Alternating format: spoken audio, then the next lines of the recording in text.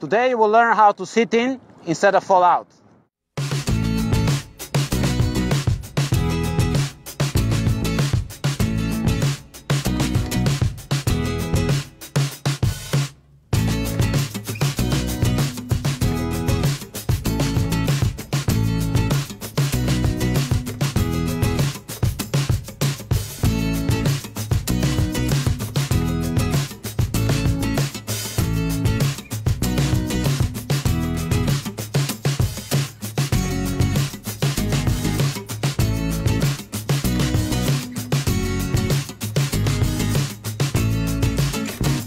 So we have four points of stability. The first one is your both arms.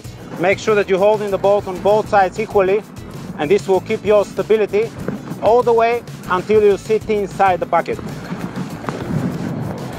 Now my stability comes from the low center of gravity as well as my feet that are still in the water.